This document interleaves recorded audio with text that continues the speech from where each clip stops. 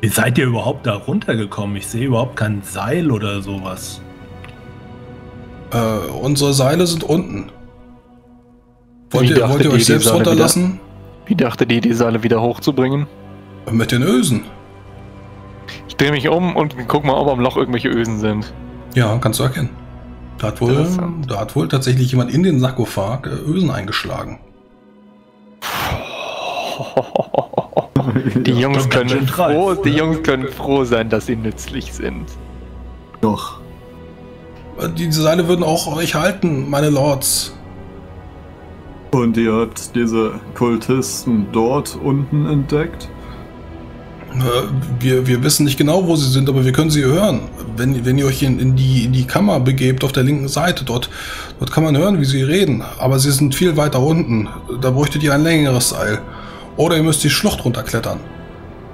Ich würde mich unten mal umschauen. Ähm, Bruder Tordal, ähm, sei vorsichtig. Nicht, dass du allein in einen Hinterhalt krätst. Ich werde vorsichtig sein. Doch. Ich werde ihm zur Seite stehen.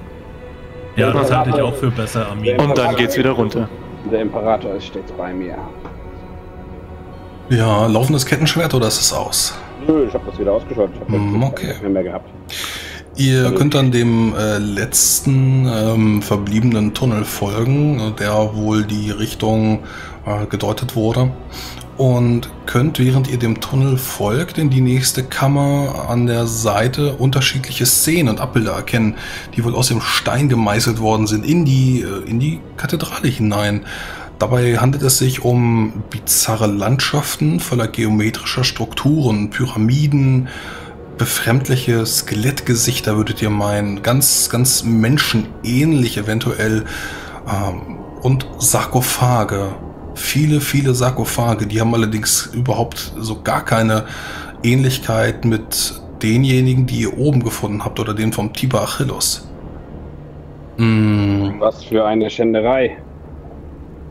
Eine runde Scheibe, die von Glyphen umringt ist, zeigt eine Reihe von Bauwerken unter einer horizontalen Linie. Überall, alles ist voll mit, mit Mathematik, würdet ihr sagen. Mit, mit Geheimzeichen.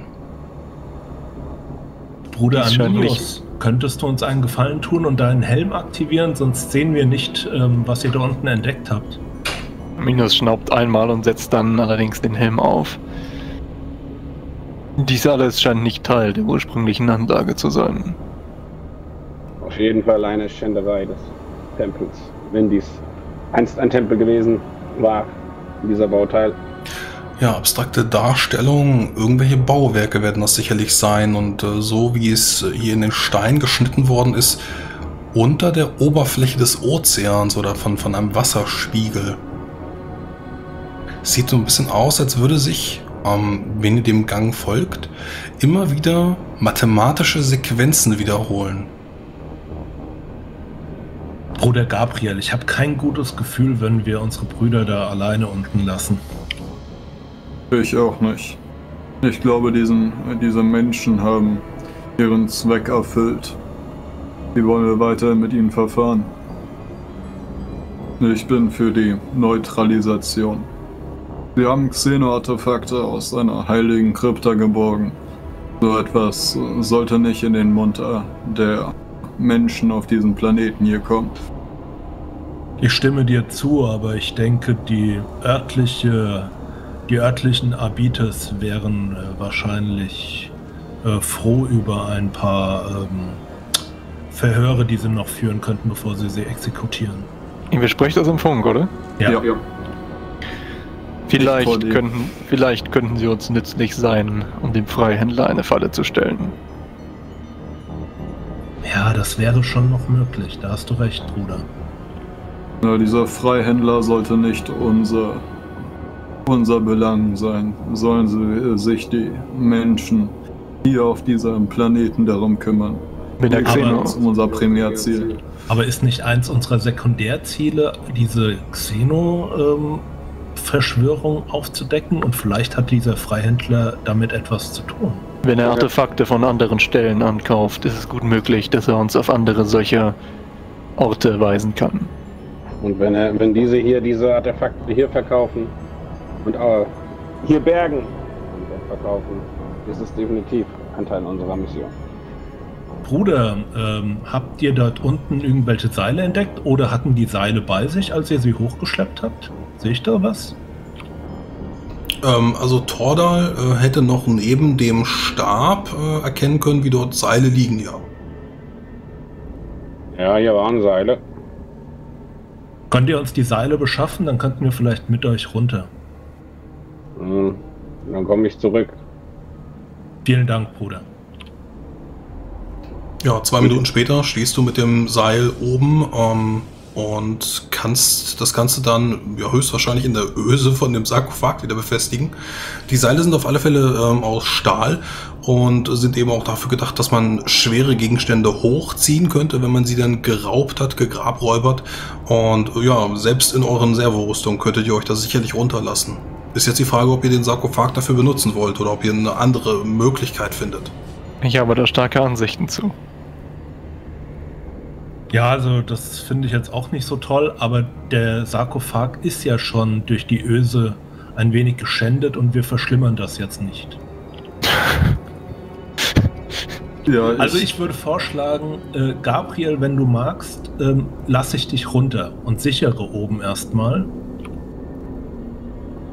Im Zweifel können auch Arminius und ich euch sichern und ihr geht nach unten. Ähm. Hatten wir zufälligerweise zwei Seile, sodass wir mit dem zweiten Seil die beiden Grabräuber noch irgendwie anbinden können? Äh, ja, es sind sind, sind, zwei Seile, genau. Ja, dann nehmen wir das zweite und verschnüren die mal fachgerecht. ich dachte, wir brechen den jetzt einfach die Beine und Funken Worgen, der soll eine äh, Abholung für die organisieren. Und deswegen lassen wir dich nicht mit Menschen alleine. Ich hätte sie jetzt einfach wieder mit nach unten genommen, unten fachgerecht verschnürt, dann kommen sie auch nicht weg. Ja, alles recht. Wir nehmen sie einfach mit runter und nehmen die Seile mit. Oder so. Ist egal wie rum. Und sie können sie so oder so bewegungsunfähig machen. Und wir Ich- brauchen sowieso die Seile, haben sie uns gesagt. Ich finde zwar meine Idee am besten, aber machen wir das eben so. Also mit nach unten nehmen finde ich keine so gute Idee, wenn wir uns irgendwo anschleichen sollen und die dann auf einmal anfangen, uns rumzujammern und zu, zu flennen oder sowas. Äh, nicht mitnehmen, mitnehmen. Die können im Schiff stehen bleiben. Ja, okay, gut. Nee, Dann ich, sind ich wir würde uns sie einfach äh, K.O. schlagen. Dann können sie. Ja, wir haben die Knockout. Wenn du versuchst, die K.O. zu schlagen, bringst du sie um. Ich krieg das hin. Dafür haben wir einen Genau. Spezialisten für. Ja, Gabriel kann das. Zum Glück bin ich nicht bei euch. Zum Glück bin ich nicht bei euch. Kannst du doch einfach irgendein Beruhigungsmittel spritzen oder sowas.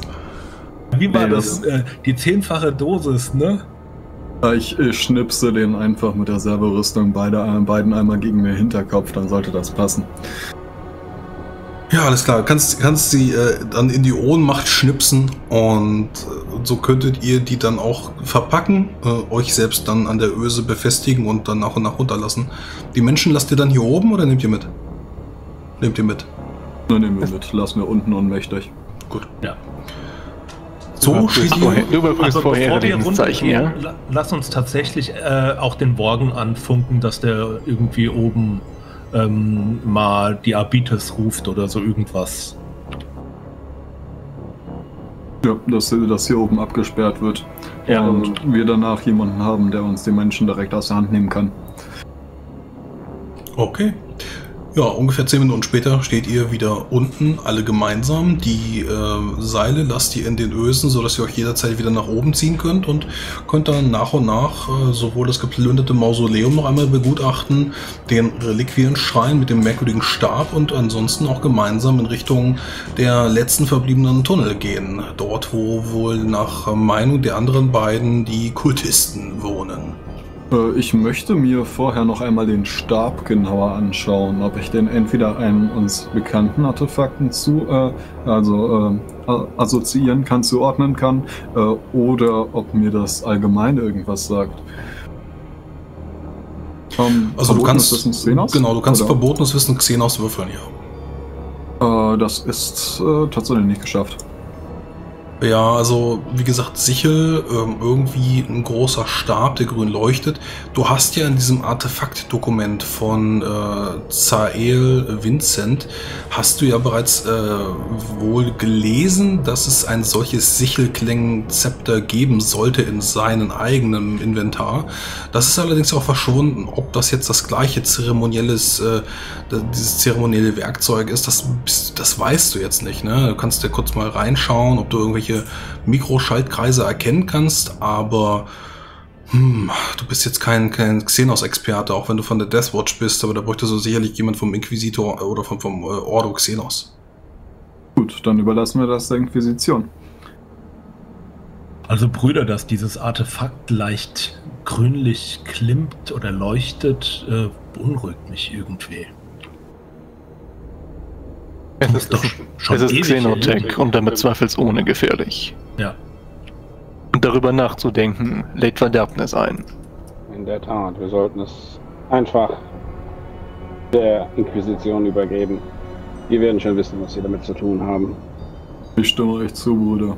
Ich kann da auch nichts mit anfangen. Sollten hier noch irgendwelche Kultisten oder irgendwas sein, müssen wir sie ausschalten. Ihr habt recht. Ich fasse den Bolter fester. Wir sollten sie nicht dazu einladen, uns zu empfangen. Also sollten wir uns beeilen. Wer weiß, ob sie schon was mitbekommen haben. Ja, und dann geht's los. Und zwar zügig. Alle Richtung Kultstätte, ne? Ja, ihr dürft mir ganz gerne mal einen Wurf auf Logik bringen. Der ist allerdings schwer. Ein Logik. schwerer Wurf, also minus 20. Okay, da ich auf halbe Int würfeln würde, ist das dann für mich die minus 10. Ich passe also. Ja, die 1 kann man immer würfeln. Ich glaube nicht, wenn man drunter wäre. Außerdem, die 100 kann man auch immer würfeln. Und darauf lasse ich es nicht ankommen. Logik. Boah. Na, Toda? Vielleicht? Nee, nee, nee, nee, nee, nee. Also Vielleicht ich würfel auf halben Pool. Also mit 22 habe ich es nicht geschafft. Ah, okay. Also ich würfel da auch auf die 10 und ich habe eine Intelligenz von 64. Ja. Ähm, also es sind, es sind auf alle Fälle, wenn ihr wieder an, dieser, an diesem Tunnel entlang geht, das sind mathematische Sequenzen. Es könnte sein, dass es so etwas wie Koordinaten sind, aber ihr habt absolut keine Ahnung. Ohne den richtigen Schlüssel ist das absolut undekodierbar. Ja, Unmöglich. das äh, wird äh, auf jeden Fall mal abgespeichert. Eine äh, Bilddatei davon erstellt. ja, mache ich auch. Sobald wir durch diesen Gang sind, werde ich den Speicher meiner Helmkamera löschen. Nur so als Konterpunkt. So geht jeder anders damit um. Ja, richtig. Einige von uns wollen halt nicht ewiger Verdammnis anheimfallen, aber ihr tut, was ihr tut. Korrekt. Ja, es ist natürlich die Frage, ob äh, die Inquisition äh, diesen Tunnel jemals gesehen hat. Äh, zumindest äh, führt er direkt ab von einer imperialen Kathedrale. Ähm, dann eben bis zu einer weiteren Kammer, die ihr entdecken könnt. Ähm, gemeißelter Tunnel mündet in einem kleinen Vorraum. Allerdings ist hier wohl durch äh, die weiteren Bauarbeiten von oben eine, eine Schlucht entstanden. Ähm, im Inneren des Berges, der wohl ausgehöhlt ist, geht es hier wohl viele, viele hunderte von Metern nach unten, die euch dann auf der äußeren Seite dieser, dieser Kultkammer dann ähm, ja, nach unten führen. Also es ist ein sehr steiler Abhang, den ihr dann nach unten klettern müsstet, wenn ihr richtige Ausrüstung habt. Die beiden Marines mit dem Sprungmodul könnten selbstverständlich auch äh, nach unten schweben, aber wofür auch immer. Wenn ihr euch ein bisschen umblickt in diesem Vorraum, ist irgendwie mit dunklem Material ausgekleidet, auch durch die Jahre der Plünderung übel zugerichtet. Hier standen wohl eine ganze Menge an ja, verschiedenen Statuen. Ähm, das Gestein ist mit zahlreichen Narben überzogen und die Wände zu beiden Seiten zerfallen, ähm, stark geschwächt. Das, wenn ihr euch dann hier auch die, die Säulen anseht, die Konstruktion dieses Kenotafs hat tatsächlich dann auch diese Kammer äh, in Mitleidenschaft gezogen, als man dann Tiber Achilles ein, ein gewaltiges Mausoleum errichtet hat. Wenn ihr euch allerdings äh, nach weiter an, an diesen Rand begebt, könnt ihr dort äh, nicht nur Dunkelheit entdecken, sondern sowas wie ein warmes Licht und das Echo von gedämpften Stimmen, die viele Male an den, an den Felswänden gespiegelt worden sind. Brüder, seid leise, da unten höre ich was. Ich würde gerne mal genauer danach lauschen. Octavius, schau, ob du diese Schallenwellen extrahieren kannst und für uns zu einem verständlichen Ton machen kannst. Ja, ich glaube, das kann ich. Ja, also mit dem Auspex ist es wohl möglich. Du kannst dann eben auch die Daten auf die äh, Helme deiner Brüder übertragen. Tor- Torda versucht es selber, schafft es wohl aber nicht ganz. Und äh, wenn, wenn äh, Octavius dann auch den äh, mit dem Nicken angedeutet hat, dass er soweit ist mit seinem Auspex, kannst du den Helm ebenso aufsetzen, sodass du dann den Rest äh, mit aufschnappen kannst. Wie gesagt, du, du filterst so ein bisschen diese, dieses Echo raus und kannst dann hören. Dann sprach der Todlose zum Bauern. Ich sehe, du hast meine Lektion beherzigt. Deine Saat gedeiht auch in der Dürre, während die Felder deiner Nachbarn brach liegen. Deswegen werde ich deine Bitte erfüllen. Der Bauer fiel dankbar auf die Knie, während der Todlose anmutig zu seinem kranken Kind schwebte. Der Todlose legte seine kühlen Hände auf die Stirn des Burschen. Die Krankheit verließ seinen Körper und er ward wieder heil. Darauf äh, könnt ihr viel Gemurmel und zustimmende äh, ja, Rufe hören. Immer wieder die Wiedergeborenen oder die Todlosen. Es Handelt sich ein dabei- ketzerisches Ritual zu sein, Brüder. Und das unter einer imperialen Kathedrale. Es schreit förmlich davon, dass wir da unten säubern müssen. Ich stimme zu. Das einzige mh, Problem, was ich da sehe, wie kommen Gabriel und ich da runter? Wie tief ist das in etwa darunter? Mehrere hundert Meter. Und wie lang sind die Seile? Äh, Die Seile sind 40, 50 Meter. Hm, wir können nicht jeder einen packen und darunter Nee. Sprungmodulen. Das ist zu schwer, oder? Das ist zu schwer. Nee, aber wir, ihr könntet äh, zu zweit einpacken und dann runtergehen.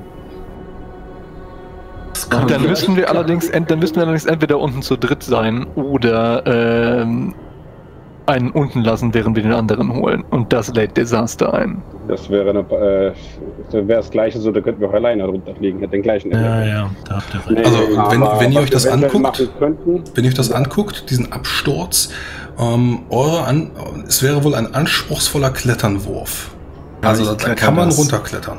Also ich, ich, ich sehe gerade hier, äh, die Stärke wird ja durch die Servorüstung verdoppelt, oder nicht? Nein. Nein, Achso, nee, nicht. durch, äh, durch die Space Marines hier. Äh, Das ist ein Fähigkeit. Stärkebonus. Du kriegst einfach durch die Rüstung 20 Punkte Stärke obendrauf. Ja gut, das, das, das kletter ich, Jungs. Gut, wir klettern alle hinab und sollte jemand stürzen, werden Tortal und ich ihn aufzufangen versuchen. das ist eine gute Idee. Und wir könnten die Seile noch benutzen, um uns zu sichern. In Form von, dass wir sie irgendwie versuchen zu halten. Dann. Und wenn ihr einen Blick auf die Ketzer erhascht, dann zögert nicht. Dito. Nun geht und macht dem Imperator Ehre. Nun gut, klettern wir herab. Äh, wir, wir nutzen das mit den Seilen am besten, um jeweils äh, Gabriel und Arminius und Octavius und Tordal zusammenzubinden. Ja. Damit die jeweils mit dem äh, Sprungmodul, falls einer runterfallen sollte, intervenieren können. Es sind wahrscheinlich schon Karabiner dran, wir können uns einfach einhaken. Ja, da könnt ihr Okay. davon ausgehen. Also an euren Rüstungen wird sicherlich irgendwie eine Öse dafür sein. Das Aber euch ist klar, dass einer alleine dann äh, nicht einen Abstürzenden halten kann. Es ist aber leichter, wenn nur einer Ja, ja, von ja. uns beiden jeweils den anderen fangen muss, als wenn wir beide einen Abstürzen fangen müssen. Ja, aber der zweite müsste dann auf jeden Fall, bevor er dem äh, Abstürzenden hinterher springt, dann seinen Karabiner lösen. Ne? Also sagen wir mal, ähm, Tordal und ich sind jetzt verbunden. Ich falle runter, Tordal fällt mit oder hilft mir, du hüpfst hinterher und wärst dann ja noch aber an Gabriel befestigt. Und Das ist tatsächlich blöd, klemmen wir Ja. uns die Seile einfach. gut. Okay, okay, machen wir es so. Okay, okay ich, Der ich Imperator nämlich- will es so, wenn ihr hier runterfallt und stürzt. Alles klar, dann probieren wir es einfach. Ich bin nicht derjenige. Es geht nicht darum, dass ihr fallt und daran verreckt. Es geht darum, dass ihr das heilige Relikt eurer Rüstung mit beschädigt. Deine Sorge um unser Leben rührt mich, Bruder. Wir wurden geboren, um für den Imperator zu sterben. Im Kampf für den Imperator zu sterben. Und zwar in Ruhm und Ehre. Ist Quetit, äh, wenn ihr ihm Ruhm und Ehre machen wollt, dann fallt ihr nicht. Quetiert Arminius das und fängt dann an zu klettern. Ich bin hier, um unser, um unser Leben und Sorgen zu machen. Dafür müsst ihr keine Gedankenkraft verschwenden. Ja, ich hake mich hier bei ähm, Tordal ein und kletter dann auch runter. Okay, Ja, dann bitte von jedem einen anspruchsvollen Kletternwurf, also plus minus null. Das ist definitiv. Wir sind alle trainiert in Klettern, glaube ich. Wow, ja klar, jeder hat's geschafft, problemlos. Tordal Ja, sogar mit der 1. Und ich mit einer 3. Also, 3, ich sehe es auch, ja. Das sind zwei Crits in Folge. Ja, so könnt ihr ohne weitere Probleme nach unten klettern, auch äh, wenn irgendwelche bröckelnden Felschen oder so etwas äh, mal das ein oder andere Mal äh, unter eurem Servohandschuh nachgeben, könnt ihr sie auffangen, ohne dass sie jetzt die ganze Zeit äh, unter euch hindurch klickern und dann auch die Kultisten unter euch aufschrecken. Ähm, selbstverständlich, wenn ihr eure Sprungmodule gezündet hättet, dann würden die, äh, die Kultisten unten auch wissen, dass ihr kommt.